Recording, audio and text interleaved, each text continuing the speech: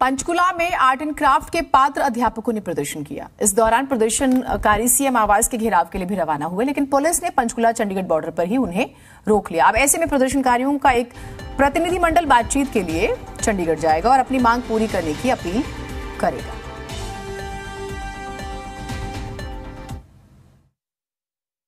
Department ये कर कि यूनिवर्सिटी को, किसी भी यूनिवर्सिटी को, स्टेट की चाहे कोई भी यूनिवर्सिटी है, उसको एजुकेशन डिपार्टमेंट से या आईटीआई से कोई भी कोर्स करवाने के लिए मान्यता लेने की आवश्यकता होती भी नहीं। ये अब लिख के दे रहे हैं, लेकिन वहाँ पर सुप्रीम कोर्ट में लिख के दे दिया कि इन्होंने मान्यता नहीं ली और इसको हम वैलिड नहीं मानते।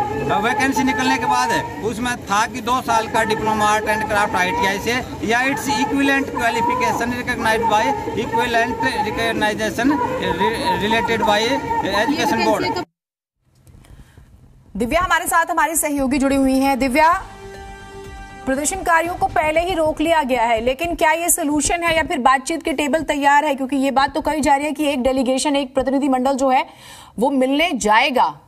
क्या जानकारियाँ हैं?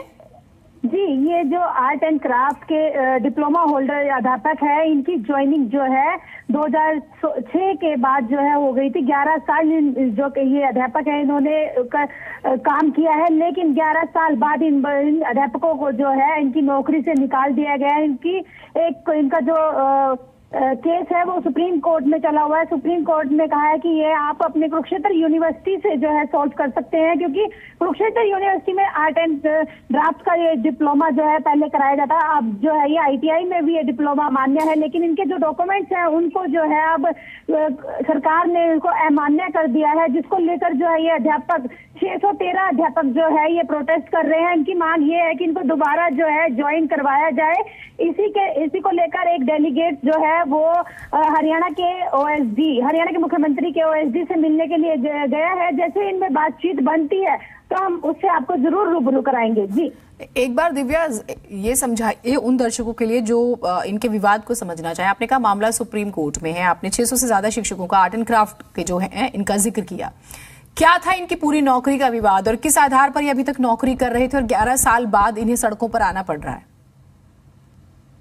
मैं आपको बता दूँ कि जो कुरुक्षेत्र यूनिवर्सिटी से आर्ट एंड ड्राफ्ट का डिप्लोमा जो ये 2006 में एक वैकेंसी निकली थी टीचर्स की, तब इनके एक जो इनको ज्वाइन कराया गया था, उसमें इनका टेस्ट हुआ था। टेस्ट के तौर पर जो है कुरुक्षेत्र यूनिवर्सिटी से जो डिप्लोमा होल्डर जो अध्यापक थे, उन्होंने टेस्ट के ज़रिए जो है इस नौकरी को प्राप्त किया था।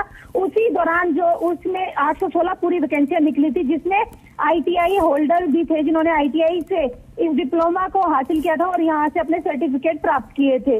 कुछ दिन पहले जो है आईटीआई के जो अध्यापक थे आईटीआई से जिन्होंने डिप्लोमा किया था, उन्होंने भी प्रोटेस्ट किया था। उनके प्रोटेस्ट से उनकी सहमति बनी थी कि उनको कल की तारीख में, यानी कि आज की तारीख में जो है ज्वाइन करवाया जाएगा, जिसको लेकर ये कुरुक्षेत्र यूनिवर्सिटी वाले जो डिप्लोमा होल्डर है, उन्होंने प्रोटेस्ट किया है। उनकी मांग ये है कि हमें ज्वाइन करवाया जाए। हमारे पास मान्यता है कुरुक्षेत्र यूनिवर्सिटी की।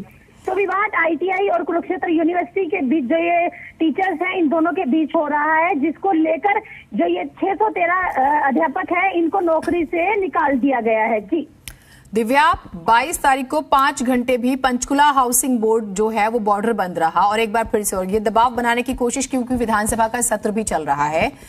लग रहा है कि बीच का रास्ता निकलेगा। बहुत शॉर्ट में बताइएगा। जी अभी तक जो है लग रहा है कि बीच का रास्ता निकल सकता है लेकिन अभी तक जो है इनकी मांग यही है कि हमारे जो क्योंकि यूनिवर्सिटी का जो डिप्लोमा हमने हासिल किया है उसको मान्य किया जाए और हमें दोबारा ज्वाइन करवाया जाए। उसको लेकर ये हरियाणा के मुख्यमंत्री मनोहर लाल खट्टर के ओएसडी हम्म। से मुलाकात करेंगे बहुत शुक्रिया। अपडेट्स हम आपसे लेते रहेंगे फ़िलहाल तमाम जानकारियों के लिए। देखिए बीच का रास्ता निकलता है या नहीं इस पर हमारी नज़र जो है वो रहेगी।